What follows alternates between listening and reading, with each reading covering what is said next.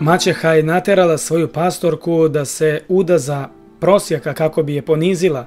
Međutim, na dan venčanja svi su bili užasnuti tajnom koju je prosjak otkrio pred svima. Sunce Njujorka nemilosredno je kupalo petu aveniju, na kojoj je sedeo Itan 25-godišnji mladić raščerupane kose i pohabane odeće. Sedeo je on tako na trotoaru nuždene glave, njegove plave oči nekada su bile blistave, a sada bile su to tupe oči od iscrpljenosti i gladi. Istaknuta rebra ispod njegove poderane košulje otkrivale su nedeljama oskudnu hranu koju je jeo. Itan je posmatrao samo pomahnitalu gužvu ljudi među kojima se on osjećao nevidljivo usred te gomile.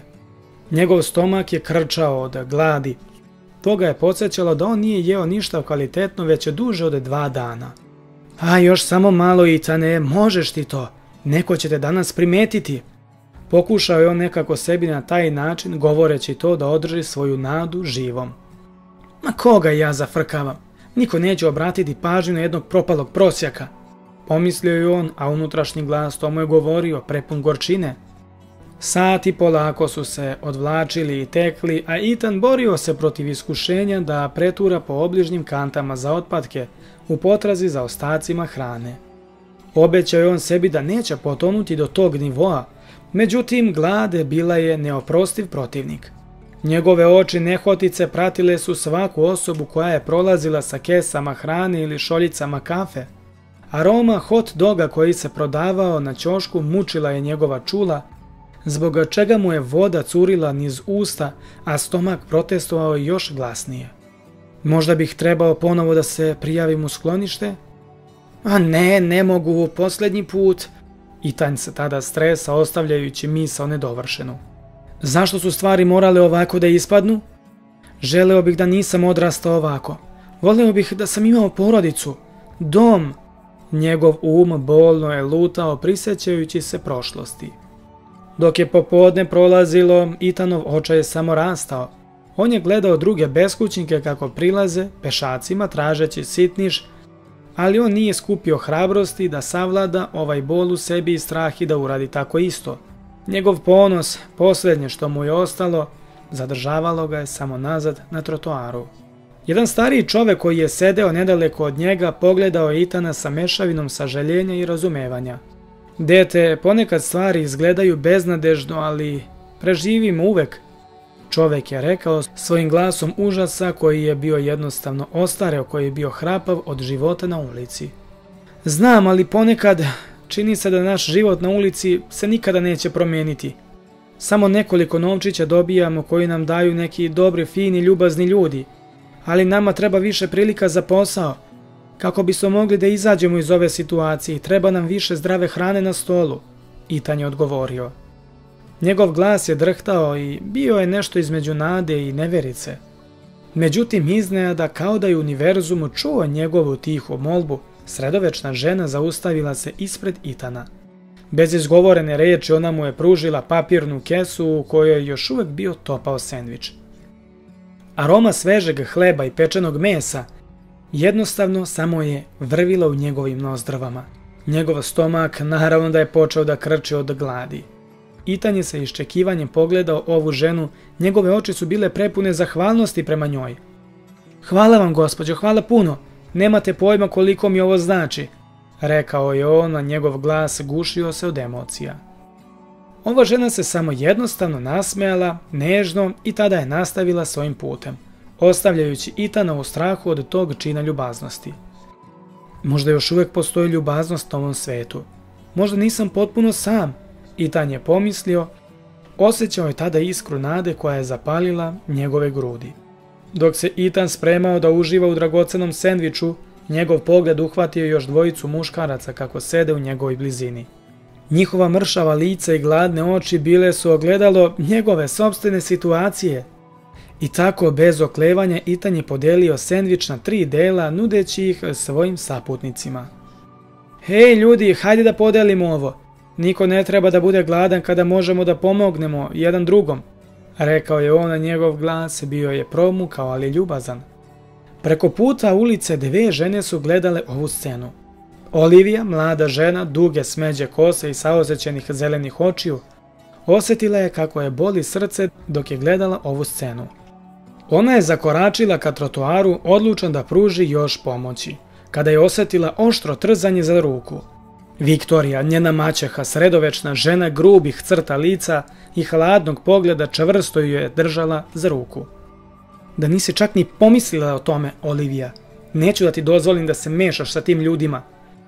Viktorija je siktala od besa svojim očima sivim koje su zaiskrile od besa. Ali Viktorija, njima je potrebna pomoć. Kako da ih ignorišemo? Olivija se usprotivila, njen glas je bio prepun emocija i ogorčenja.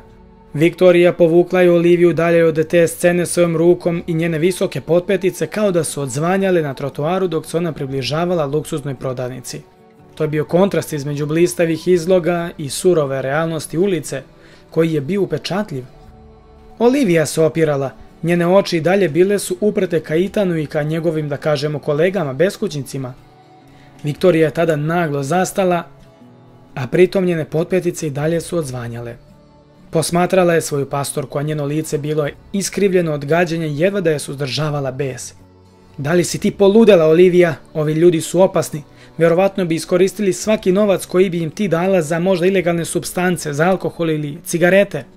Viktorija je prosiktala svojim tonom, presecajući gradsku vrevu. Mi to ne znamo, Viktorija. Taj čovjek je upravo podelio svoj jedini obrok koji je verovatno dobio danas. Kako možemo da budemo tako bezosjećajni? Viktorija je uzvratila. Njen glas je drhtao od ogorčenosti. Svađa između ove dve žene privukla je radoznale poglede od prolaznika pored njih. Olivija, koja je bila obično rezervisana, osjetila je neuobičajenu hrabrost koja je rasla sada u njoj. Izvukla se ona iz Viktorinog stiska i odlučnim korakom krenula preko puta ulice. I oni su ljudska bića, Viktorija. Oni zaslužuju sa osjećanja, ne osudu. Olivija je dodala i krenula je svojim putem.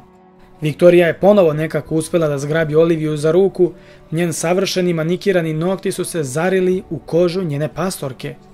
Ne razumeš kako svet funkcioniše, draga. Ovi ljudi su izabrali svoj stil života i jednostavno su oni to birali. Nije naša odgovornost da ih mi spasavamo. Viktorija je tvrdila, a njen ton bio je snishodljiv. Njihov izbor? Niko zapravo ne bira da gladuje na ulici i da živi na ulici. Kako možeš da budeš tako slepa?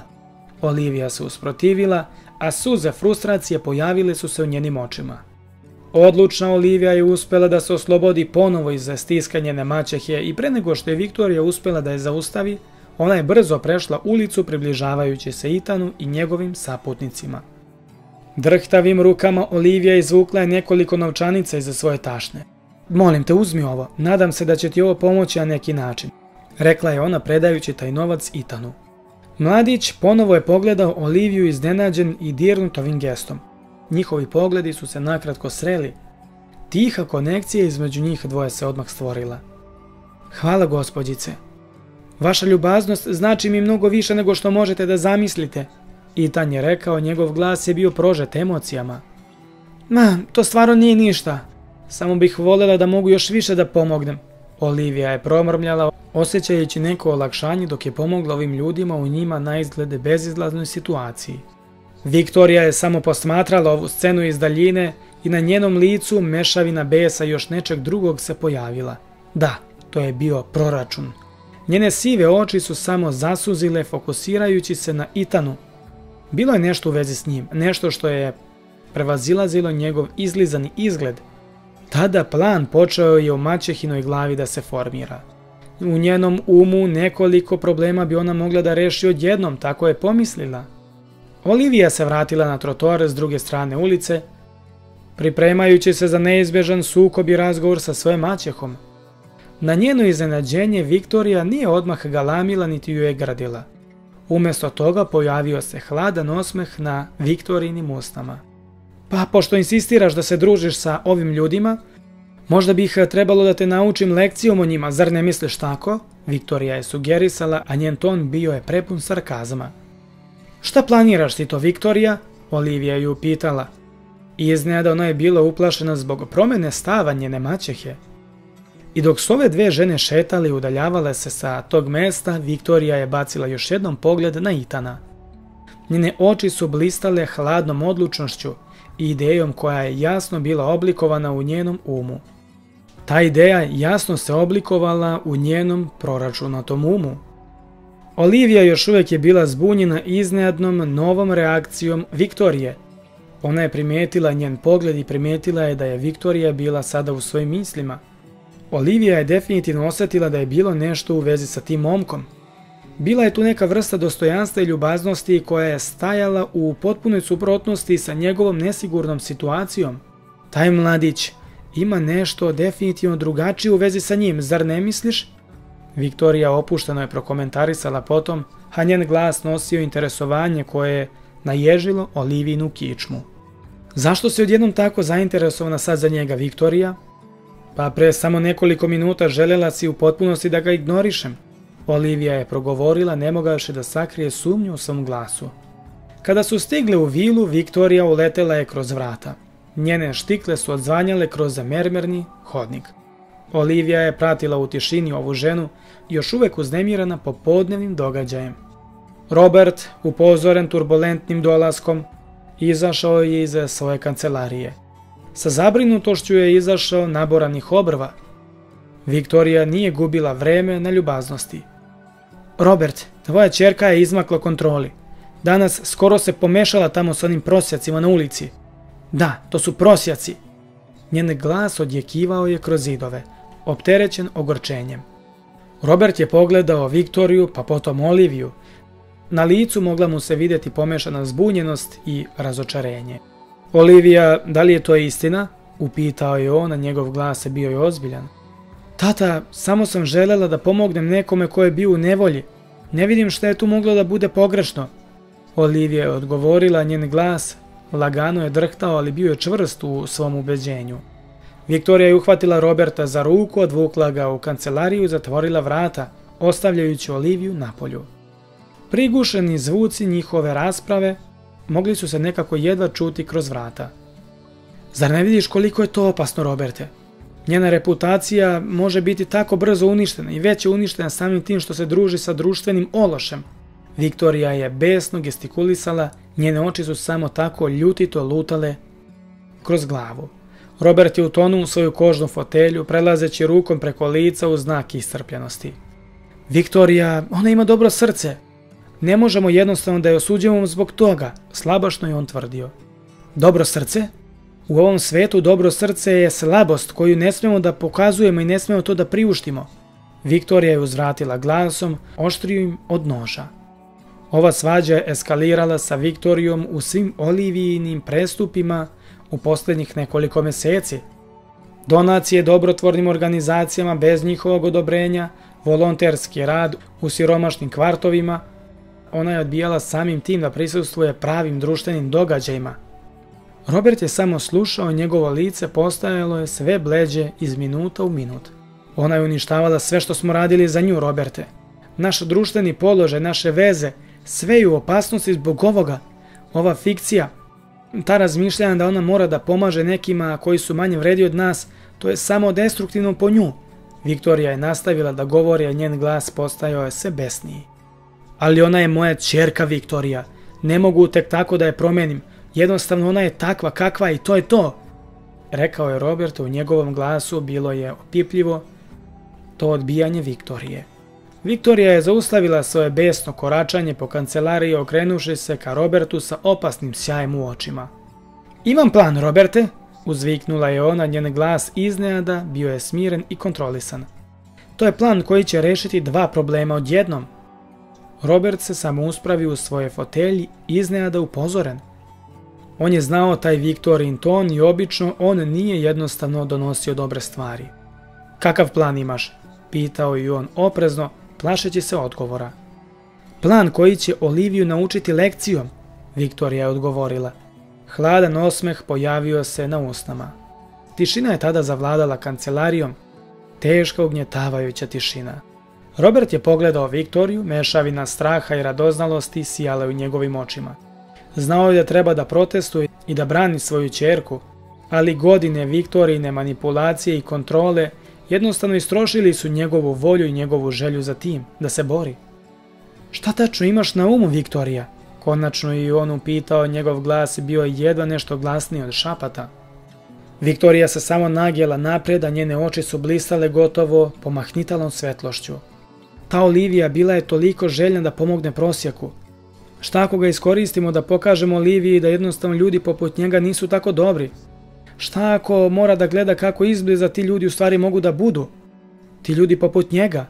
Ona je insinuirala, a glas joj je bio nekako se bleđi od te zlobe koju je izgovarala. Viktorija, šta predlažeš? Robert je upitao, drhta i straha, samo mu je prošao niz kičmu. Viktorija je naglo ustala, njena silueta bacala je preteću senku preko Roberta. Otišla je ona do prozora kancelarije, zureći u pažljivo održavanu baštu. Hladan osmeh tada joj se formirao na usnama. Brak, Roberte. Naterat ćemo Oliviju da se uda za tog prosjaka. Ona je to izjavila, glas bio je prepun okrutnosti i zadovoljstva. Robert se tada zagušio maltene svojim viskijem širom otvorenih očiju. On je bio u neverici. Viktorija, ti si poludela. Ali to je, to je monstruozno. Uzviknuo je on ustajući iza svoje stolice. Monstruozno? Ne, dragi, to je neophodna lekcija, a razmisli o tome. Šta je bolje jednostavno toga, koji je bolji način da pokažemo Oliviji surovu realnost sveta oko nas, nego da je nateramo da živi sa nekim poput njega? Viktorija je odgovorila proračunatim tonom i hladnim tonom. Robert je samo uzvrpoljeno počeo da korača svojom kancelarijom. Prolazeći rukama kroz svoju sedu kosu uz znak očaja. Ali, šta je sa njenom srećom? Moja čerka zaslužuje više od ovoga Viktorija, tvrdio je on. Njegov glas bio je čvrst uprkos očiglednoj zabrinutosti. Viktorija se okrenula tada prema njemu, a oči su je blistale od nepokolebljive odlučnosti. Sreća? Roberte, pričamo ovdje o budućnosti tvoje čerke. Zamisli samo sve te poglede, šaptači jednostavno na svim društvenim mrežama i događajima. Olivija treba da razume posljedice njenih nepromišljenih postupaka. Ona je objasnila, svaka reč bila je opterećena ubeđenjem. Ovo baš ne izgleda ispravno, Viktorija, moram da priznam. Moja čerka se nikada ne bi postidela običnog čoveka. Osim toga, ona ima dobro srce.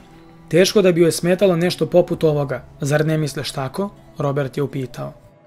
Tračak nade i ponosa u svom glasu bio je osjetljiv dok je on razmišljao o snažnom karakteru njegove čerke.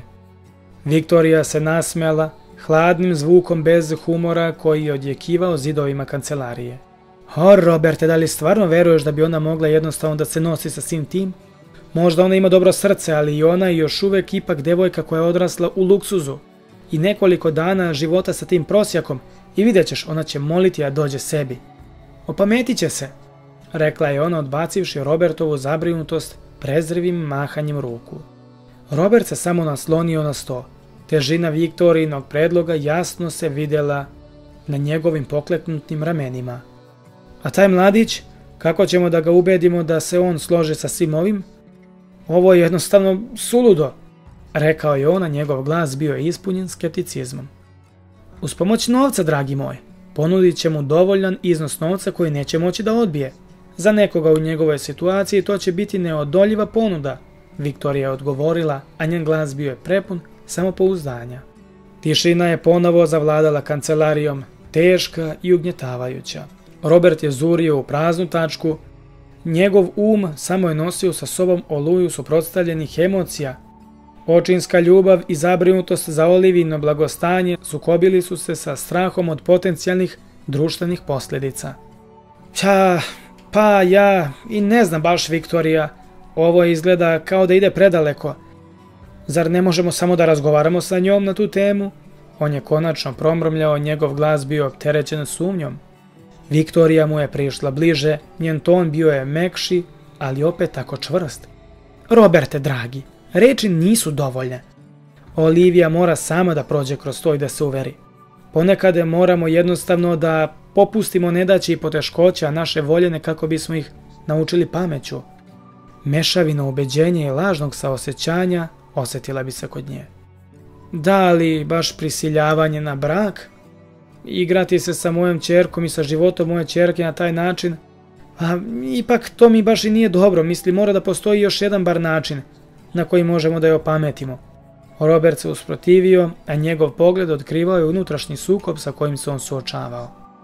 Robert je polako ustao, hodao do prozora, on je gledao u svet sa druge strane, u svet koji je bio tako složen, prepun zamki za njegovu voljenu čerku.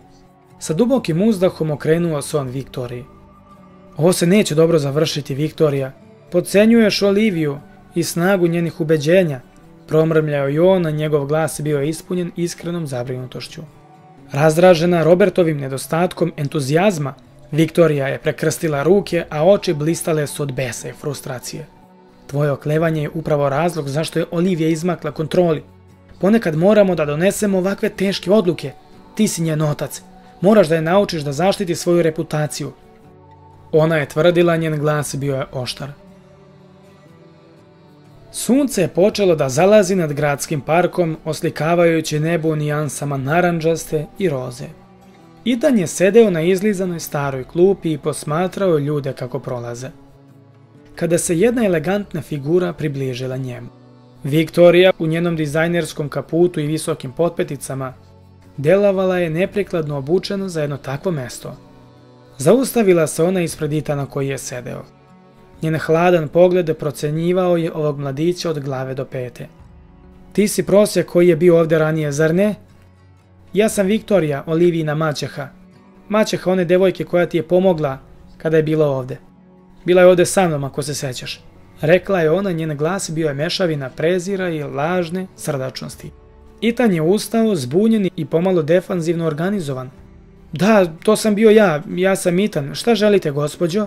Odgovorio je on svojim glasom promuklim od neupotrebe glasa. E pa Itan imam predlog za tebe. To je predlog koji bi mogao u potpunosti da ti promeni život. Viktorija je izjavila, a njene usne formirale su samo proračunat osmeh na licu. Viktorija nije gubila vreme da dođe jednostavno do poente. Ona je iznala svoj plan Itanu objašnjavajući ugovoren brak sa Olivijom, obećavajući mu život u udobnosti i luksuzu u zamenu za njegovu saradnju. Itan je slušao, njegove oči bile su samo izbečene sa svakom njenom izgovorenom rečju. Šta?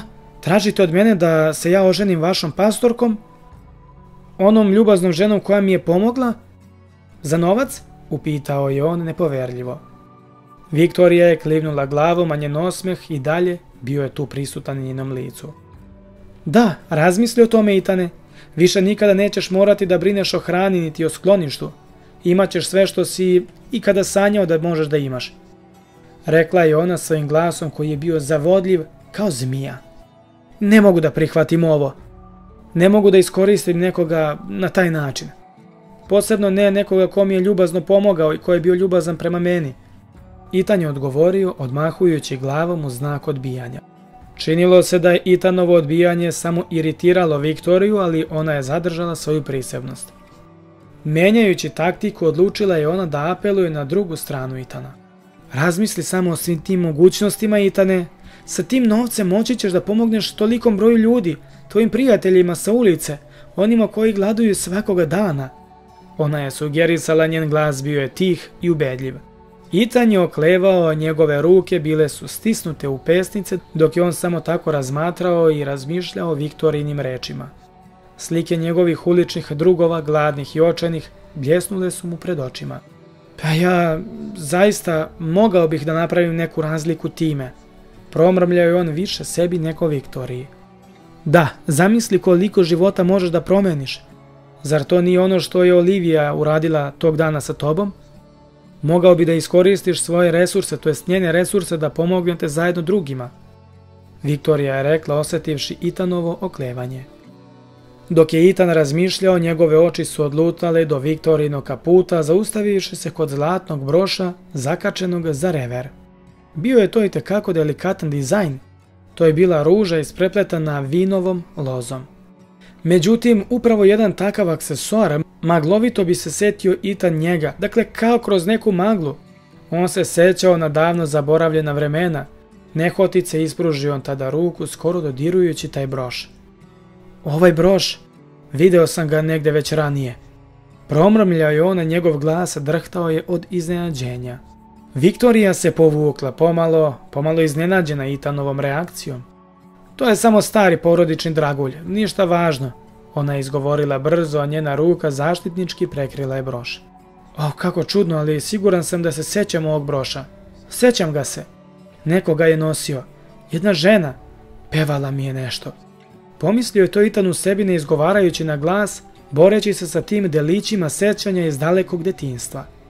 Pa Itane, hoćemo li da krenemo? Sigurno sam da bi mogao da pomogneš mnogima ovom tvojom odlukom, Itane. Viktorija ga je pritiskala, gestikulišući Itanu da je prati. I on je tada klimnuo glavom. Pre nego što je otišao, Itan se okrenuo svojim uličnim drugovima, obećavajući im da će se on vratiti i da će im pomoći. Hej, ne brinite, vratit ću se ja i pronaći ću način da vam pomognem, da pomognem svima, rekao je on njegov glas, zagrcnuo se od emocija. Ubrzo nakon toga, sedeći u vozilu koje je mirisalo na novu kožu, Itan nije mogao da prestane da razmišlja o neobičnom poznavanju i već viđenom Viktorinom brošu i o nadrealnom predlogu koji mu je ona dala. Nadam se da radim pravu stvar, pomislio je Itan u sebi. Ali ako ovo može pomoći drugima, možda će vredjeti. Itan je promrljao i to u sebi, a njegovi prsti samo nervozno kuckali su po njegovim kolenima. Nekoliko minuta kasnije Viktorin luksuzni automobil je nečujno klizio kroz put ove vile. Ogromna kuća se nazirala ispred. Itan sedeći pozadi zurio je sa strahopoštovanjem u tu vilu.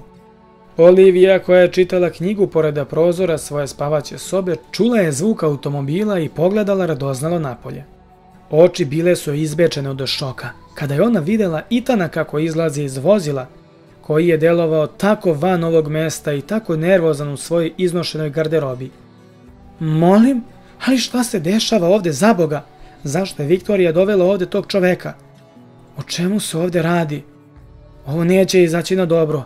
Šta mu je uradila? Promrmljala je ona u sebi zbunjena i uplašena, osjećajući kako je srce lupa od straha u grudima. Viktorija je uvela Itana u kuću, bacijevši značajan pogled na Oliviju koja je posmatrala se sa prozora. Čekaj ovde, rekla je ona Itanu ostavljajući ga u ulaznom holu. Penjući se uz stepenice sa velikom odlučnošću, Viktorija je pokucala na vrata Olivijine sobe pre nego što je ušla i ne čekajući njen odgovor. Olivije, draga, moramo da porazgovaramo, rekla je ona, njen ton lažno je bio sladak. Olivija se okrenula prema svoje maćehi, njen izraz lica bio je mešavina zbunjenosti i straha. Viktorija, ali šta se ovde dešava? Zašto je taj čovek ovde? Što si ga dovela? Pitala je Olivija, njen glas je drhtao. Sve će uskoro postati jasno, draga moja, ali prvo, hajde dole, sedi. Moramo da razgovaramo o tome. Viktorija je odgovorila pokazujući Oliviji da sedne na ivicu kreveta pre svega. Nevoljno Olivija ju je poslušala, njene oči nikada nisu silazile sa Viktorinog lica. Maćeha je počela da korača po sobi, a njene štikle su odzvanjale po drvenom patosu. Olivija, tvoja obsesija da pomažeš manje srećnima se jednostavno uzela u obzir i ona se tiče svega ovoga. Dakle, tvoj otac i ja odlučili smo da je vreme da naučiš vrednu lekciju o stvarnom svetu. Viktorija je počela da priča, njen glas bio je prepun lažne zabrinutosti. Olivija je osetila samo čvor u njenom stomaku. O čemu ti to pričaš, Viktorija? Upitala je ona, plašeći se odgovora. Pa govorim ti o posljedicama, draga moja, i o braku, Viktorija je odgovorila hladnim osmehom koji se formirao na njenim usnama. Šok pogodio je Oliviju kao udarac u stomak. Ona je ustala naglo, a ruke su joj tada drhtale. Brak? Kakav brak? Pitala je ona, a njen glas bio je prožet strahom. Viktorija je prestala samo da korača okrećući se direktno ka Oliviji. Udaćeš se za onog prosjaka dole, za Itana. Za onog čoveka kojem si danas tako željno želela da pomogneš, izjavila je ona uživajući u svakoj reči. Olivija je osjetila kako je tada kao krv da joj curi sa lica. Ali ovo je ludo, ne možeš biti ozbiljna, ti se šališ, zar ne? Povikala je ona, njen glas odzvanjao je prostorijom. O, da, draga moja, ja sam vrlo ozbiljna i pre nego što pomisliš da odbiješ, dozvoli mi da ti objasnim posljedice tvog potencijalnog nesarađivanja u ovom slučaju, Viktorija je zapretila. Njen glas tada pretvorio se u opasan šapat. Olivija zateturala se samo sedeći na krevetu, njen um vrteo se pokušavajući da shvati absurdnost ove situacije. Ali samo sam pomogla čoveku u nevolji, Šta sam tako loše uradila? Ne možeš da me nateraš da uradim ovako nešto. To je nezakonito, to je nemoralno. Ona je tvrdila, a suze frustracije počela su samo da je curen iz lice. Viktorija je prišla bliže, naginjući se kako bi bila licem u lice sa Olivijom. Mogu i hoću, draga moja. Osim ako ne želiš da vidiš kako se tvoj novi prijatelj prosjak suočava sa veoma ozbiljnim optužbama. Bila bi šteta kada bi policija pronašla nešto nezakonito u njegovom posjedu, zar ne misliš tako? Pretila joj ona, svaka reč bila bi oblivena zlobom. Ne možeš to da uradiš, on je nevin. On nema nikakve veze sa svim ovim. Olivija je promrmljala, strah joj je samo obuzimao srce, dok se realnost situacije nastanila u ovoj prostoriji. Zašto radiš ovo, Viktorija? Šta dobijaš svim ovim? Viktorija se samo hladno osmehnula, tada se ona ispravila i rekla je. Šta dobijem ja ovim, draga Olivija? Dobit ću time da konačno moja pastorka razume svoje mjesto u ovoj porodici i u ovom društvu. Naučit ćeš da tvoji postupci imaju posljedice i da nisu se vi jednostavno ljudi kojima treba pomoći. Jednostavno, on nije dostojan našeg saosećanja. Olivija osjetila je samo hladnoću. Njen pogled odletao je do prozora gdje je vidjela Itana ranije kako dolazi. Ta pomisao da on pati sada zbog nje bila je nepodnošljiva. I ako prihvatim, šta će se onda desiti Itanu? Pitala je ona, njen glas jedva je bio glasniji od šapata. On će imati udoban život, daleko od ulice, a ti, draga moja, naučit ćeš vrednu lekciju o stvarnom svetu. Viktorija je odgovorila svojim tonom, skoro majčinskim, ali sa prikrivenom hladnoćom zbog čega je Olivija zadrhtala. Itan je odveden u luksuzno kupatilo ove vile koje je bilo povezano sa njegovom sobom. Oči su mu se izbečile pri pogledu na veliku mermernu kadu i na uredno raspoređene toaletne potrebštine na pultu. Sve što vam je potrebno nalazi se ovdje, rekao je Butler pokazujući meke peškire i proizvode za brijanje. Itan je klimnuo glavom i dalje zapanjen ovom situacijom. I sada kada je konačno bio sam u kupatilu, on je posmatrao toplu vodu kako puni kadu. Koliko je prošlo od mog posljednjeg pravog kupanja, promrmlja je on u sebi, polako skidajući svoju pohabanu staru odeću. Hoće li se sva ova prljaština skinuti? Da li se uopšte i sjećam kako se pravilno trebao kupati?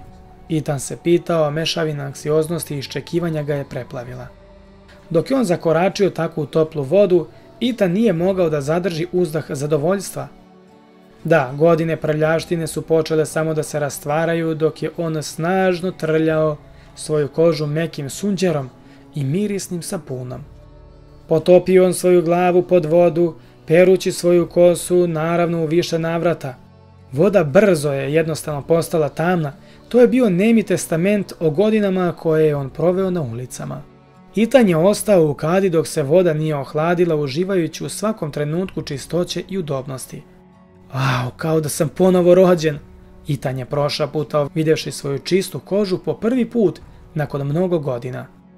Ko bi pomislio da jednostavno obična kupka može tako jednostavno da učini da se ljudsko biće osjeća tako ponovo ljudskim bićem? Pomislio bi ona tada talas emocija ga je samo preplavio. Umotan u meki peški, Ritan je pogledao svoj odraz u velikom ogledalu. Njegova brada bila je dugačka i neuredna, skrivala je veći deo njegovog lica. Drhtavim rukama on je uzeo britvu i kremu za brijanje. Pažljivo počeo on da skida bradu, da je uklanja polako otkrivajući lice koje je zaboravio. Činilo se da svaki potez sečivom oduzimao je ne samo njegovu bradu, već također i godine života na ulici. Kada je završio itanje, jedva prepoznao čoveka koji je zurio u njega u ogledalu. O moj Bože, da li sam to stvarno ja? Promrbljao je Itan dodirujući svoje sada glatke obraze. Deluje mi kao da gledam stranca, stranca iz prošlosti. Pomislio je on tada mešavina šoka i fascinacija ga je preplavila. Obučen u novu odeću koja je bila spremna za njega, Itan osjećao se kao varalica. Meka, dobro skrojna tkanina bila je u potpunom kontrastu sa krpama na koje je on navikao. On se osjećao sada jednostavno neugodno što je nosio ovo skupo odelu i što je bio obrijan. Pogledavši sebe još jednom u ogledalu, Itan duboko je udahnuo spremajući se da se suoči sa drugima. Možeš ti to, Itane. S ovakvim životom moći ćeš da pomogneš mnogo ljudi. rekao je on svom odrazu u ogledalu pokušavajući da ubedi sebe u to. Dok se spuštao nize stepenice, Itan osjećao je kako su oči bile uprte ka njemu. Olivija koja je stajala na dnu stepenica vidno je samo udahnula kada ga je vidjela. Njihov pogled se sreo i na trenutak činilo se kao da je svet stao. Itan, skoro te nisam prepoznala. Ona je prošaputala, njen glas bio je mešavine iznenađenja zbog toga što nije mogla da prepozna ovog čoveka. Viktorija se tada pojavila bacivši prezrev pogled u Itanovom smeru. Ah, sad je već bolje, odlično. Vidim da si se dobro sredio. Oni su primetili njen ton koji je bio lažno veseo. Itan je klimnuo glavom ne mogavši da pronađe reči. Dok se je kretao prema trepezari, on nije mogao da ne primeti Olivin za ostali pogled. Šta li ona sada mislila? Itan se pitao.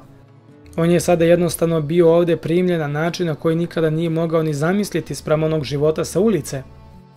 Zašto me ona gleda tako? On se preispitivao. Dani koji su prolazili u magli pomahnitalih priprema i rastuće napetosti bili su i tekako osjetni po mladu damu Oliviju. Sedeći u fotelji luksuzno kozmetičkog salona, Olivija je zurila u svoj odraz u ogledalu, dok je njena frizerka radila na njenoj raskošnoj svadbenoj frizuri. Njene oči su bile tužne, svetlucale su tihom odlučnošću, dok su joj ruke nežno počivale na beloj haljini, odnosno venčanici u njenom krilu. Ona nije mogla da prestane da razmišlja o Itanu i o svim tim promjenama koje su se izdešavale u posljednjih nekoliko dana. Mora da se on osjeća izgubljeno kao i ja. Možda je ovaj brak prilika da mu zaista pomognem. I ja da napravim tu razliku o kojoj sam oduvek želela da učinim i sanjala. Olivija je promrmljala u sebi, stežući srce od empatije. Mali osmeh tada joj se formirao na usnama. Frizerka primetivši Olivin zamišljen izraz lica pokušavala je da razveseli ovu ženu nekim raspoloženim pričama. Hej, da li si uzbuđena zbog ovog velikog dana, draga? Olivija je tada samo oklevala na trenutak pre nego što je odgovorila. Pa, komplikovano je, ali odlučan sam da izvučem najbolje iza situacije. Ona je konačno uspjela da kaže, njen pogled samo je susreo ovu ženu, to jest susreo se sa frizerkinim pogledom u odrazu ogledalo. Ona je odlutala do trenutka koji je podelila sa Itanom proteklih nekoliko dana. To su bili neodlučni razgovori stidljivi osmesi, očigledna zahvalnost bila je u njegovim očima. On zaslužuje šansu da ponovo izgradi svoj život i možda zajedno možemo da pronađemo veći cilj u ovoj situaciji, pomislila je Olivia razmišljajući o tome. Dok je frizarka stavljala završni detalj na njenu frizuru, Olivija je posmatrala aktivnosti u salonu kroz ogledalo. Ona je samo pomislila na sve te ljude tamo kojima je bila potrebna pomoć, baš kao što je bio i Itan. Njen um počeo je da formuliše planove. Kako da iskoriste svoj položaj i resurse kako da napravi jednostavno razliku među svim tim ljudima. Čak i unutar ograničenja njenog ugovorenog braka. Da li ste zadovoljni rezultatom, gospođo? Upitala je frizerka, prekidajući njena razmišljanja. Wow, savršeno je, hvala vam, Olivija je odgovorila. Ovog puta odgovorila je sa iskrenim osmehom.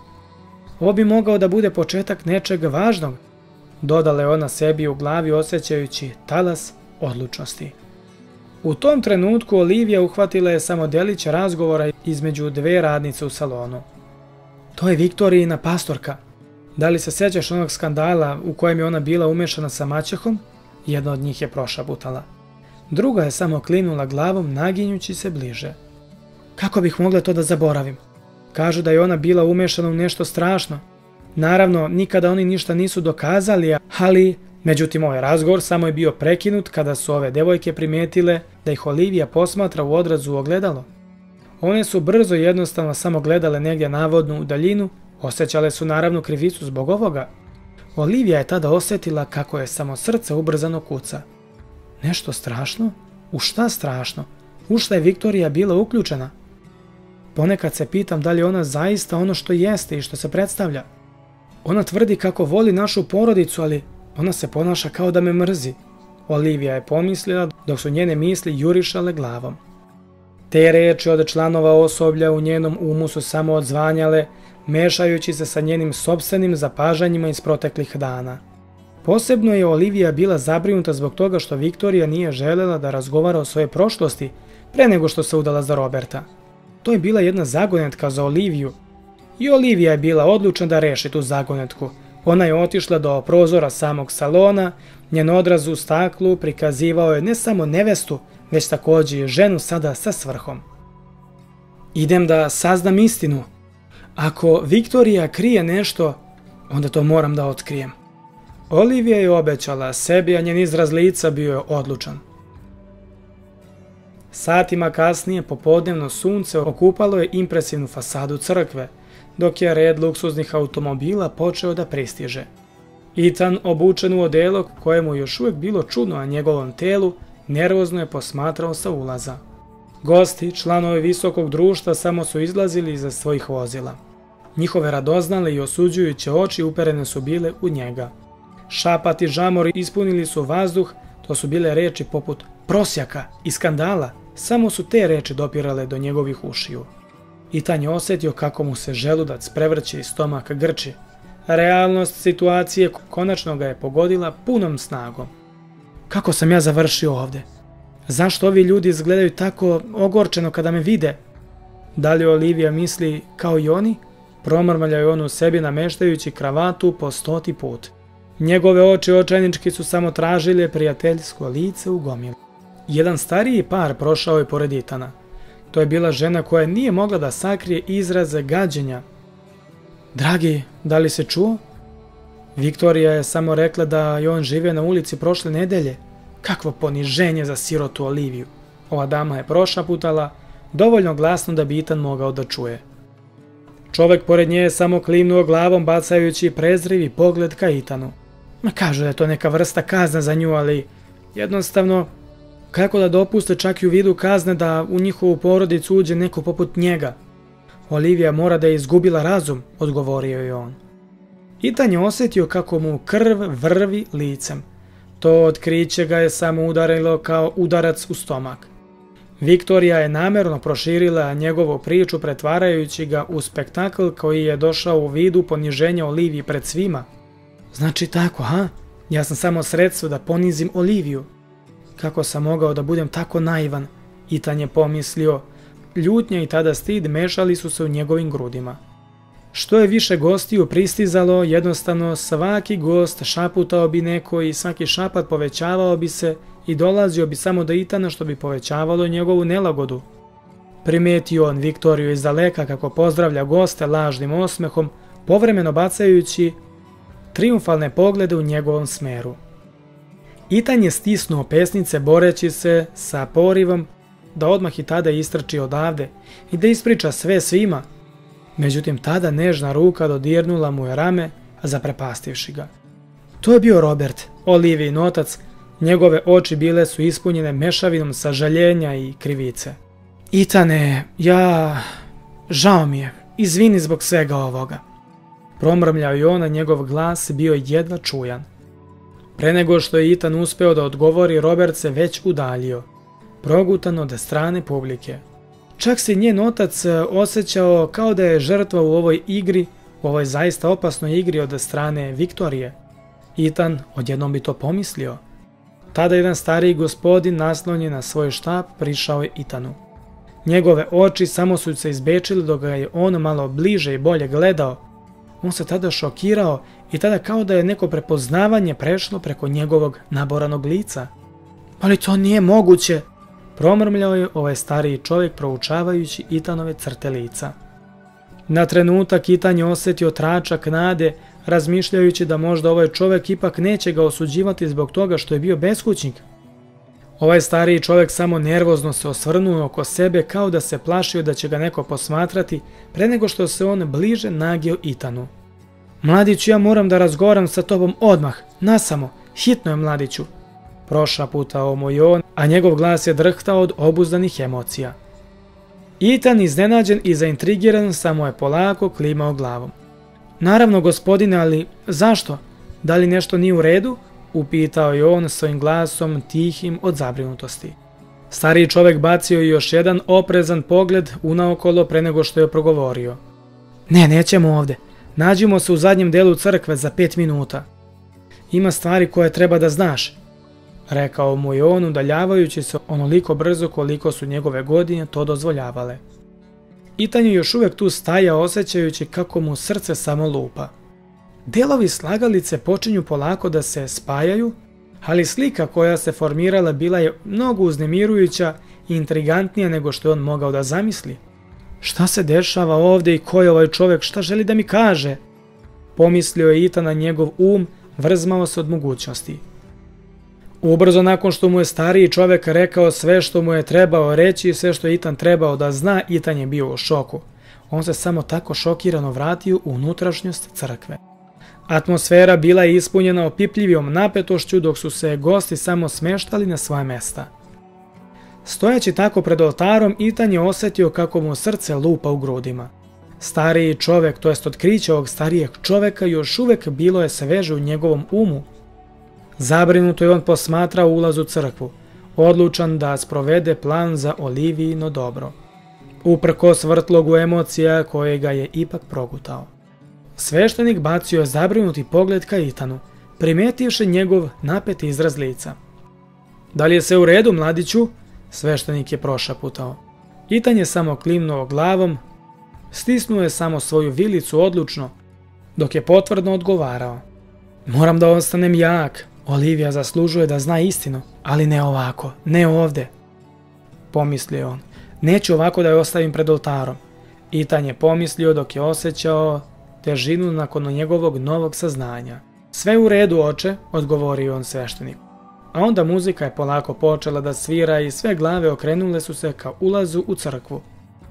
Olivija se pojavila i izgledala je zaista blistavo u svoj venčanici, ali oči su joj govorile priču u strahu i odlučnosti. Dok je ona polako hodala niz prolaz, Itan je mogao da vidi unutrašnju borbu koja se odražavala u njenom pogledu. Činilo se kao da ju je svaki korak koštao ogromnog truda, kao da je ona marširala ka neizvesnoj sudbini. Viktorija sedela je ovdje u prvom redu, posmatrala je scenu sa osmehom zadovoljstva koji je Itanu sada izgledao još zlokobnije.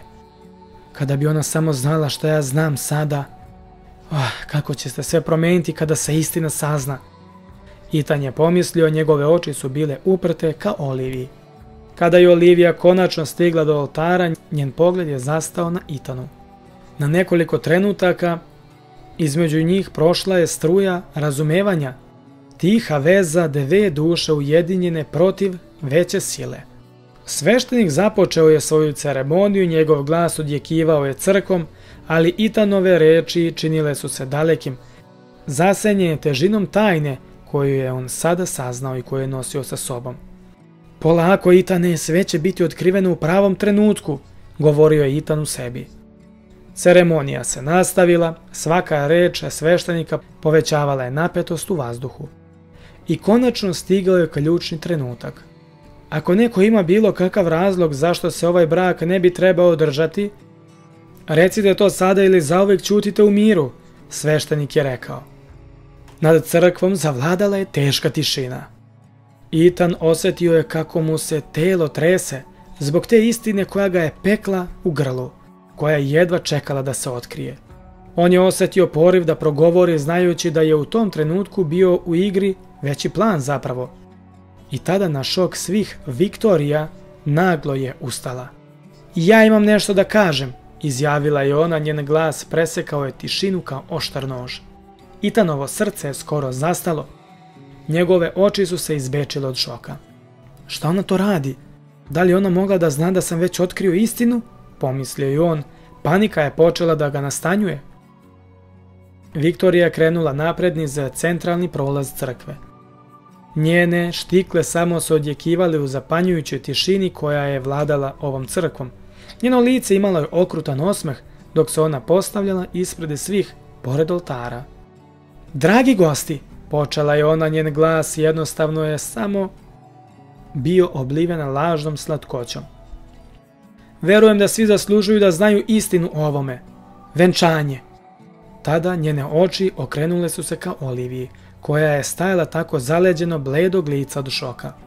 Dakle, ova mlada žena, Viktorija je nastavila pokazujući na mladu. Mislila je da bi mogla da prkosi našem društvenom statusu i položaju mešajući se sa uličnim ološem. Pa evo rezultata njenog glupog saosećanja. Olivija je tada osjetila suze kako je teku iz očiju i peku njene obraze, ali odbila je jednostavno da ih pusti iz očiju, nije želela da ih prikaže. Viktorija, molim te, nemoj to da radiš, Olivija je rekla Viktoriji. E pa, draga moja, prekasno je za to, Viktorija je odgovorila tonom oštrim kao žilet. Ti si ovo sama izazvala. Viktorija se okrenula ka gostima otvorenih ruku, teatralnog gesta. Vidite moji prijatelji, ovo je mlada koja je odlučila da se uda za prosjaka, a ovo je čovek koji je do prošle nedelje živeo na ulici, prljav i gladan. Žamor šoka i neodobravanja se samo razvija u vidu talasa ovom crkvom. Itan ostao je i dalje miran, a pesnice bile su stisnute uz njegove bokove dok je samo bes ključao u njegovim venama. Viktorija je nastavila samo svoj nemilosrdan govor. Dakle, evo šta se desi kada neko zaboravi svoje mesto, kada odbije da ispoštuje tradiciju i očekivanje našeg društva. Robert je tada konačno ustao, njegov glas bio je drhtav od ogorčenja. Viktorija, sada je dosta. Kako možeš tako nešto da uradiš moje čerke? rekao je on ogorčeno.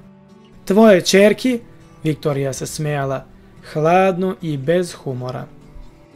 Ona je izabrala ovaj put Roberte, a sada mora da se suoči sa posljedicama.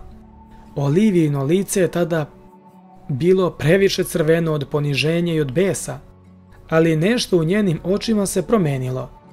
Iskra odlučnosti koja je jednostavno zamenila njen prvobitni šok. Ona je sada istupila spremna da se suoči sa Viktorijom, ali pre nego što je uspjela da progovori, Itan se pomerio. On je iskoračio, stavio je sebe između Viktorije i Olivije. Njegove oči plamtele su intenzitetom koji je jednostavno učutkao sve. Dosta više! Dosta sa tvojim lažima, Viktorija, rekao je on svojim glasom, tihim ali čvrstim.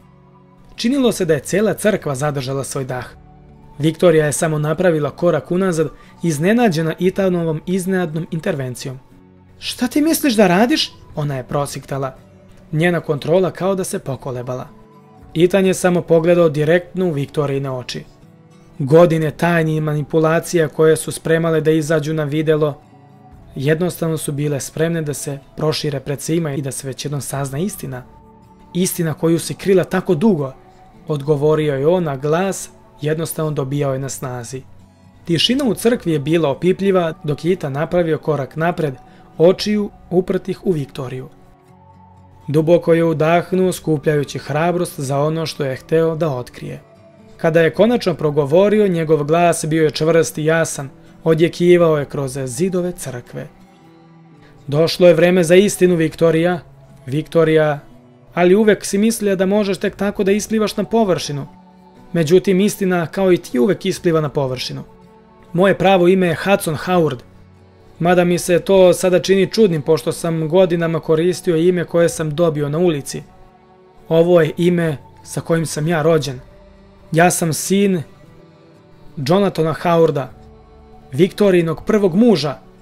Pre nekoliko minuta prišao mi jedan stariji čovek.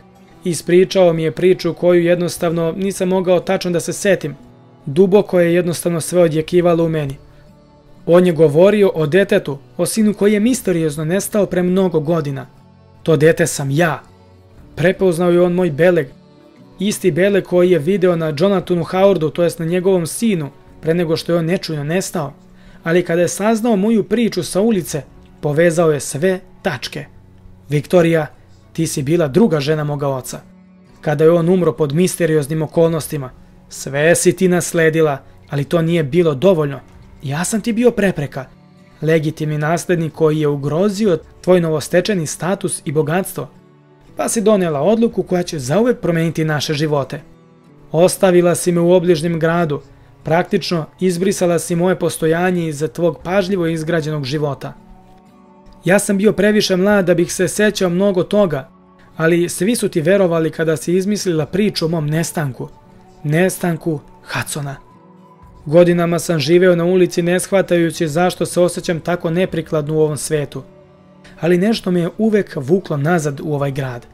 Kao da sam jednostavno nesvesno i podsvesno znao da pripadam ovde iako nisam znao i nisam mogao da se setim zašto. Taj broš Viktorija uvek nosiš sa sobom. Sećam se kada sam ga držao u mojoj ruci kada sam bio samo dete. Bilo je to jedino čega sam mogao da se setim kada sam se držao toga, kada sam zapravo bio ostavljen na ulici, daleko od svega i svih koje sam voleo. Viktorija, nisi me prepoznala kada si me videla na ulici. Ironično, zar ne? Razlog što toliko preziraš prosjak je, jeste zato što duboko u sebi oni su te podsjećali na ono što si ti uradila. Svaki put kada si pogledala u jednog od nas, videla si dečaka kojeg si napustila. Kada si me dovela u ovu kuću, bila je to okrutna šarada koju se ti orkestrirala. Nisi računala da će se prošlost odjednom tako povratiti sada isplivati na videlo, na prošlost na koju si mislila da si je zakopala pre mnogo godina. Itan se tada okrenuo prema nevesti koja je jednostavno bila šokirana ovim saznanjem. Olivija, tvoja dobrota i saosećanje dali su mi snagu da se suočim s ovom istinom. Tvoj čin velikodušnosti tog dana na ulici dao mi je hrabrost da saslušam i pomognem nekome ko je prolazio kroz tešku situaciju. Viktorija, tvoja obsesija društvenim statusom, tvoj prezir prema manje srećima, tvoja okrutnost prerušena u životne lekcije, sve to sada ima smisla. To je bila samo fasada da se sakrije tvoja prošlost i da zakopaš istinu o tome šta si uradila meni i mom ocu. Ali ne može više, dosta. Istina je izašla na videlo više ne možeš da se kriješ iza svojih laži i manipulacija. Vreme je da se suočiš već jednom sa posljedicama tvojih postupaka. Da odgovaraš za ono što si uradila meni u mom životu. Što si mi u stvari ukrala život i što si mi nanela bol. I meni i mnogim drugima, uključujući Oliviju i Roberta. Stojimo ovde danas, ne kao slomljeni čovek za kojeg si ti mislila da možeš da uništiš i da iskoristiš u svojoj glupoj šemi i planu, već kao Ethan Howard, koji povraća svoj identitet i moje pravo na mesto u ovom svetu. Ja sam ovde da osiguram da pravda konačno bude zadovoljena. Kada je Ethan završio svoj govor u crkvi, izbio je čitav haos.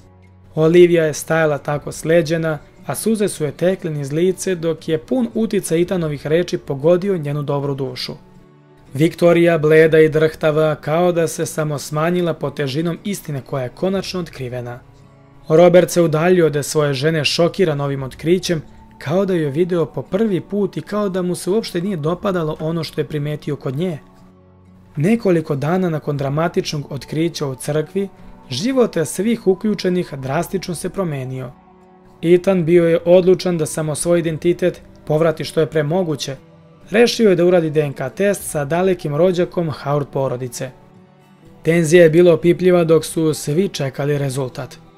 Jednog sunčanog popodneva, Ethan, Olivia i Robert okupili su se u kancelariji porodičnog advokata. Koverta sa rezultatima testa je bila otvorena sa drhtavim rukama. Pozitivan je test, objavio je advokat, a njegov glas je odjekivao u zapanjenoj tišini sobe. Itane, nema sumnje da si ti davno izgubljeni sin Jonathana Howarda. Olivija je tada stisnula Itanove ruke, suze olakšanje i sreće su se samo pojavili u njenim očima. Robert još uvek obrađujući sve ovo, samo je utešno ruko stavio na Itanovo rame. Konačno, posle toliko godina istina je izašla na videlo. Dobro je skinuti povezi i što uprko svemu još uvek mogu da budem srećan, Itan je promrmljao njegovim glasom zagušenim od emocija. Posledice po Viktoriju bile su brze i ozbiljne. To su bile ozbiljne optužbe za manipulaciju, za prevaru i čak za moguću umešanost u smrte Jonathana Howarda, ona se suočila sa dugom pravnom bitkom. U danima koji su usledili nakon dolaska policije u vilu sa nalogom za pretres i zaplenu, Viktorija još uvek bila u šoku, bespomoćno je samo posmatrala kako policajci pretresaju svaku njenu prostoriju, oduzimajući dokumente, kompjutere, pa čak i njen dragoceni broš, koji je sada bio ključni dokaz. A tužilac je želeo da napravi primjer nekoga tako uticajnog koji je tražio punu istragu misteriozne smrti Jonathana, koja je bila pre nekoliko godina prava nesreća. Visoko društvo koje ju je nekada poštovalo, sada ju je tekako izbegavalo kao da je ona bila kuga. Viktorija, zapravo društveno carstvo, Viktorija raspalo se vrlo brzo, onako kako je brzo izgrađeno. Njen telefon je prestao da zvoni. Pozivi za dobrotvorene događaje i ekskluzivne večere su nestali preko noći. Bivši prijatelji su je okrenuli leđa kada bi je vidjeli na ulici u strahu da bi možda bilo kako mogli jednostavno da budu povezani sa njenom narušenom reputacijom. Njena imovina bila je zamrznuta, odnosno zaleđena jer su se istrage nastavile, ostavljajući ovu ženu bez pristupa resursa, vila koju ona pretvorila u njen lični zamak, sada osjećala se kao pozlačeni zatvor, sa novinarima koji su samo kampovali napolju željni da vide osramoćeno lice ove žene u društvu. U ironičnom preokretu Viktorija se našla tako sama i izolovana doživljavajući delić bespomoćnosti koji je ona nanela Itanu pre toliko godina. Kako su dokazi bili prikupljani i više detalja kako je isplivavalo o njenim manipulacijama, dok je sve to izlazilo na videlo, dakle, postalo je jasno da će se ona suočiti ne samo sa društvenom propašću, već i također sa velikom kaznom i sa zatvorom sa mnogim godinama koje će ona morati da provede iza rešetaka. Umeđu vremenu Itan i Olivija postali su još bliski zbog nedaća sa kojima su se zajedno suočavali. U intimnoj ceremoniji, veoma različitoj od spektakla koji je Viktorija planirala, oni su se ipak venčali. Ovog puta nije bilo manipulacija niti skrivenih motiva. Samo prava ljubav i zajednička želja da se napravi ozbiljna razlika u svetu, pozitivna razlika. Itane, Olivija je rekla držeći za ruku sada svog pravog muža. Šta ti misliš o korištenju našeg zajedničkog bogatstva da pomažemo ljudima koji su bili u situaciji u kojoj si ti nekada bio? Itanove oči su zasijale od emocija i odlučnosti. Ništa me ne bi učinilo srećnijim ljubavi moja. Hajde da pretvorim ovu tragediju već jednom u nešto pozitivno. U mesecima koji su osledili, Itan i Olivia osnovali su fondaciju posvećenu pomoći beskućnicima i napuštenoj deci. Neumorno su oni radili na pružanju skloništa, obrazovanja i mogućnosti za one koje je društvo često zaboravljalo. Robert duboko je žalio zbog svoje nenamerne uloge u Viktorijinim planovima i šemama, aktivno se on pridružio dobrotvornom radu čerke i zeta. Itanova priča od prosjaka do davno izgubljenog naslednika i njegovog kasnijeg filantropskog rada zaokupirala je naravno pažnju javnosti. On je postao simbol nadi i iskupljenja dokazujući da je moguće prevazići i najnepovoljnije okolnosti. Jedne tihe večeri dok su posmatrali zalazak sunca sa njihovog trema, Itan okrenuo se kao Olivi. Znaš, sve te godine osjećao sam se tako izgubljeno, ali kao da sam tražio nešto što bih sada mogao da imenujem. Shvatam da sam tražio ovo. Dom, svrhu, nekoga koga ću voleti. Olivija se osmehnula, malo mu se nagela, zagrlila ga je i poljubila je. I to je se počelo od jednostavnog njenog dobrog dela na ulici. Nikada nemoj da pocenjuješ ničiju moć dobrote, Itane. Ona može da promeni svet.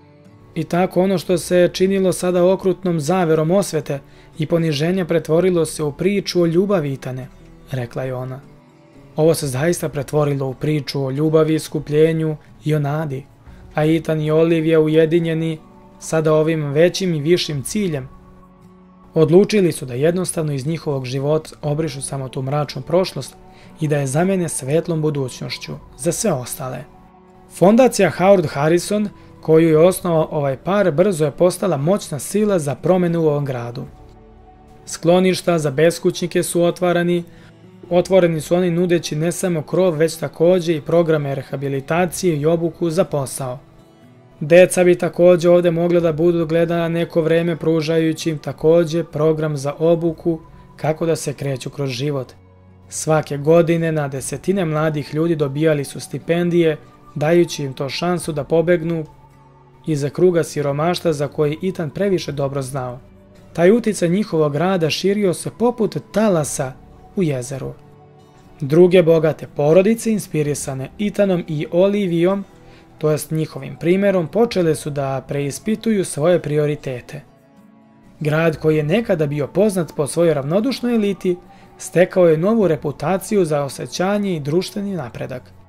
Itan, izgubljeni dečak koji je postao simbol otpornosti, često je govorio u školama i na fakultetima, deleći svoju priču i ohrabrujući druge da nikada ne gube nadu. Olivia za uzvrat koristila je svoje društvene veze da podržava sve te ciljeve društva koji su ranije bili ignorisani pogotovo od strane visokog društva. Zajedno oni su dokazali da prava vrednost osobe nije u njegovom društvenom statusu ili bankovnom računu, već u njihovoj sposobnosti da dopru i podignu druge. Njihova priča je postala moćni podsjetnik da čak i u najmračnijim okolnostima ljubaznost može da preovlada i da samo jedan čin saosećanja može izazvati duboku promenu. Je lanac pozitivnih promjena. Kako su godine prolazile, Ethan i Olivia sve su više vredeli po pitanju učinjenih dobrih dela. Ono što je nekada bio jednostavan običan čin ljubaznosti na prometnoj ulici, transformisao se u pokret koji je menjao mnoge živote.